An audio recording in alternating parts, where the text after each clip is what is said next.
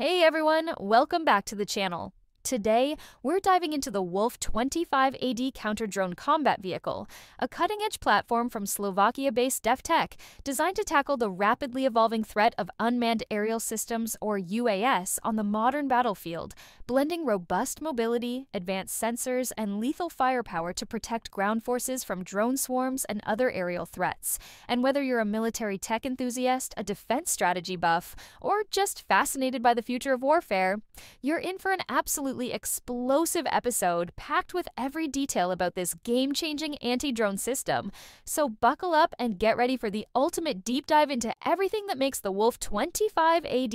a vital asset in today's high tech conflicts. Developed in response to the growing prevalence of drones in warfare, as seen in conflicts like Ukraine, the Wolf 25 AD was unveiled to address the urgent need for mobile, scalable counter UAS solutions, with DefTech announcing its successful trials and deployment in Ukraine by August 2025, where it has earned positive operational feedback for its performance against small, low flying drones including first person view or FPV models, and the vehicle's origins lie in DefTech's Wolf platform, a mine resistant ambush protected or MRAP. Vehicle with a V-shaped hull for enhanced protection against blasts, designed to operate alongside mechanized units, protecting columns on the march or during offensive operations, and its development was showcased at the IDET 2025 International Exhibition in the Czech Republic, highlighting its role as a dedicated air defense asset, and let's break down its core features, starting with its chassis,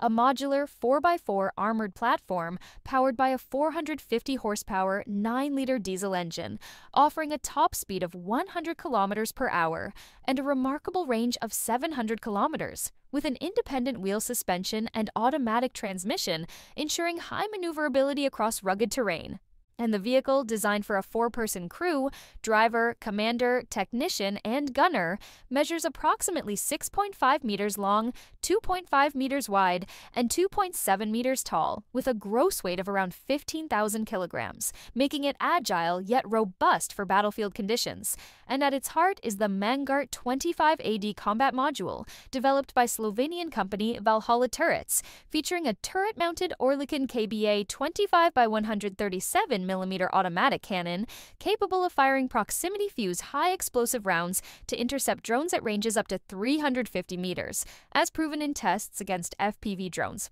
alongside armor piercing and incendiary rounds for engaging light vehicles and ground targets, paired with a 7.62mm machine gun for additional flexibility. And the system integrates a multifunctional S band active electronically scanned array, or AESA, radar, capable of tracking up to 150 air targets in a 360 degree sector, with detection ranges for small drones, like the DJI Phantom reaching 2.9 kilometers, supported by the Lotus Light optical electronic station, which includes day and night cameras, a thermal imager, and a laser rangefinder for precise targeting in all conditions. And the Wolf 25AD's counter drone capabilities are tailored to the modern battlefield, where low cost UAS, from commercial quadcopters to military grade loitering munitions, threaten armored units, supply lines, and civilian infrastructure, with DefTech emphasizing that traditional air defense systems are ill suited for these small, agile threats, making platforms like the Wolf 25AD critical for gap filler air defense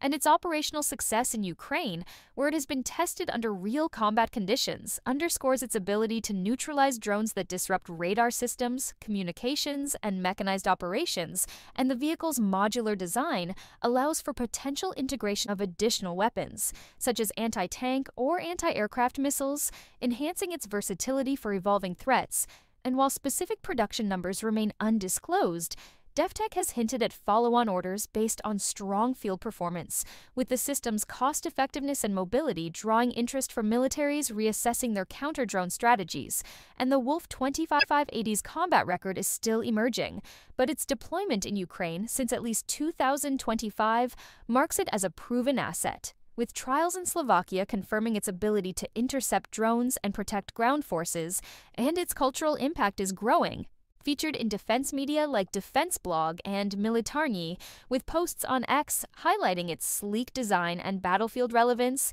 And looking to the future, the Wolf 25AD is poised to evolve with upgrades like enhanced radar algorithms, integration with networked air defense systems, or even directed energy weapons to counter drone swarms more effectively, ensuring its relevance through the 2030s as drone technology advances and its ability to operate in high threat environments, from urban combat zones to open battlefields, positions it as a key player in reshaping air defense tactics. So, there you have it, fans. This is the ultimate deep dive into the Wolf 25AD counter drone combat vehicle, a Slovakian powerhouse redefining how armies counter the drone threat. And we want to hear from you. What's your favorite feature of the Wolf 25AD? its 25mm cannon, its AESA radar, or its rugged MRAP chassis?